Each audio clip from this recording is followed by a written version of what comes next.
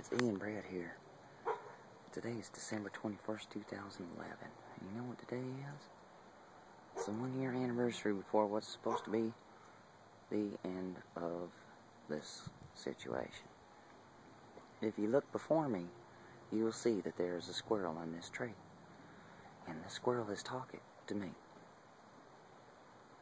I'm going to see if I can catch him doing it on camera.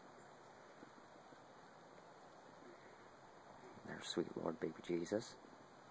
Right there.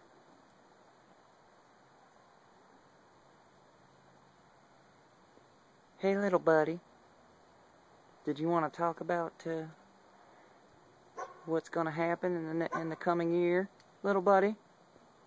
You know I've been working on a lot of stuff. We talked about it yesterday. You don't need to be scared. You just need to calm down and listen to my sultry voice. Where you... Come on.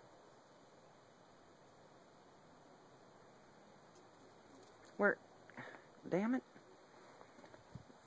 Damn it.